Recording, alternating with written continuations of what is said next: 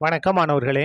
இந்த வீடியோவில் பன்னிரெண்டாம் வகுப்பு கணிதம் அத்தியோயம் ஏழு வகை நுண் கணிதத்தின் பயன்பாடுகள். இதில் எடுத்துக்காட்டு ஏழில் பதினொன்று பார்க்க போகிறோம் என்ன கொடுத்துருக்காங்க பாருங்கள் y equal to x square plus மூணு எக்ஸ் மைனஸ் ரெண்டு என்ற வளைவரைக்கு ஒன்று கமா ரெண்டு என்ற புள்ளியில் தொடுகோடு மற்றும் செங்கோட்டின் சமன்பாடுகளை காண்க. பாருங்கள் ஒரு வளைவரை.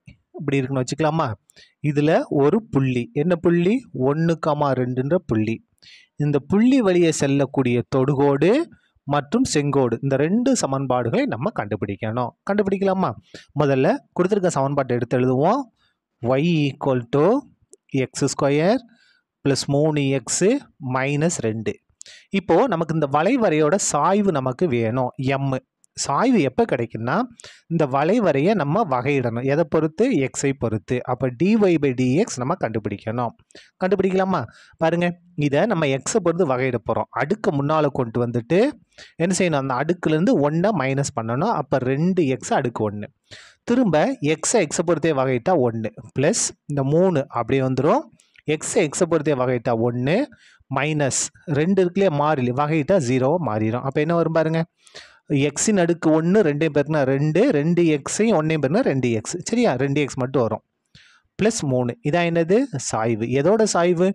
இந்த வளைவரை இருக்கு இல்லையா? இந்த வளைவரையில் நிறைய புள்ளிகள் இருக்கும். அந்த புள்ளிகள் வழியே செல்லக்கூடிய தொடுகோடு இருக்கும் இல்லையா? அந்த தொடுகோட்டோட சாய்வு. நமக்கு எந்த புள்ளியில் வேணும்? ஒன்றுக்கமா ரெண்டுன்ற புள்ளியில் வேணும். தேர்ஃபோர் ஒன்று கமா ரெண்டில் சாய்வு எம்மோட மதிப்பு நம்ம கண்டுபிடிக்க போகிறோம் அப்போ இது வந்து என்னது? எக்ஸு ஒய் அப்போ பாருங்கள் ரெண்டு எக்ஸு எக்ஸோட மதிப்பு என்ன? ஒன்று ப்ளஸ் மூணு ஈக்குவல் டு ஓ ரெண்டா? ரெண்டு. ரெண்டே மூணே கொண்டு ஐந்து. இதுதான் நமக்கு தேவையான தொடுகோட்டோட சாய்வு. இப்போது நம்ம தொடுகோட்டின் சமன்பாடு கண்டுபிடிச்சிடலாமா? தேர்ஃபோர் தொடுகோட்டின் சமன்பாடு. தொடுகோட்டின் சமன்பாடு. நம்ம பத்தாம் உள்ள படித்த ஃபார்முலையை நம்ம பயன்படுத்திக்கலாம். என்ன அப்படின்னா y minus y one equal to m into x minus x one இங்கே புள்ளி இருக்கு இல்லையா? ஒன்று கமா ரெண்டு. இதான் என்னது? எக்ஸ் ஒன் ஒய் ஒன் சரியா? இப்போ பாருங்க.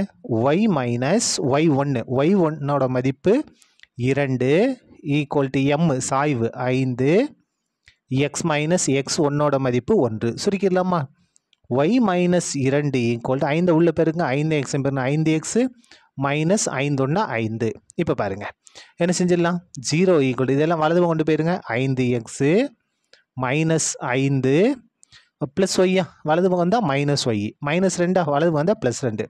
அப்படியே சைடு சேஞ்ச் பண்ணுங்கள் என்ன வரும் பாருங்கள் ஐந்து எக்ஸு மைனஸ் ஒய்யி மைனஸ் ஐந்து ப்ளஸ் ரெண்டு. என்ன வரும்? மைனஸ் மூணு ஈக்குவல் டு ஜீரோ என்ன செஞ்சிட்டோம்?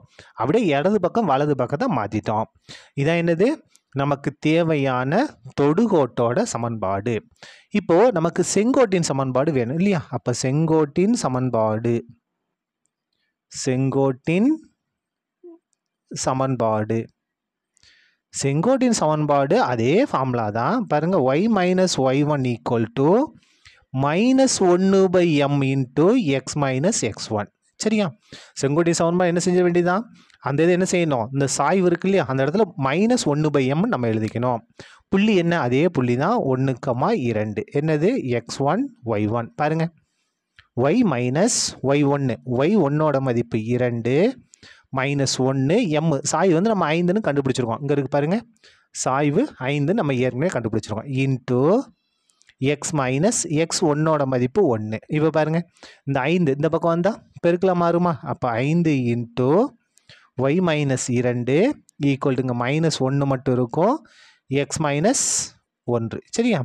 ஐந்து உள்ளே பெருக்குங்க. ஐந்து ஒய்யே மைனஸ் வந்துடும் ஐரெண்டா பத்து. மைனஸ் ஒன்று உள்ளே பெருங்க மைனஸ் ஒன்று எக்ஸ் பெருனா மைனஸ் எக்ஸு மைனஸ் ஐ மைனஸ் பெருனா ப்ளஸ் ஒன்று அப்படி எல்லாத்தையும் ஒரே பக்கமாக கொண்டு வந்துருங்க. ஐந்து ஒய்யே மைனஸ் பத்து. ப்ளஸ் எக்ஸு இடது ஒன்று தான் மைனஸ் ஒன்று ஈக்குவல் டு ஜீரோ அப்போ முதல்ல எக்ஸ் உறுப்பு. எக்ஸ் உறுப்பு அதுக்கடுத்து ஒய் உறுப்பு ப்ளஸ் ஐந்து ஒய் மாறிலி பாருங்கள் மைனஸ் பத்து மைனஸ் ஒன்று என்ன வரும்? மைனஸ் பதினொன்று ஈக்குவல் டு ஜீரோ இதுதான் நமக்கு தேவையான எந்த கோடு? செங்கோட்டின் சமன்பாடு. இது வந்து நமக்கு தேவையான தொடுகோட்டின் சமன்பாடு. சரியா? அவ்வளோதான் இந்த கணக்கு முடிந்தது. நன்றி.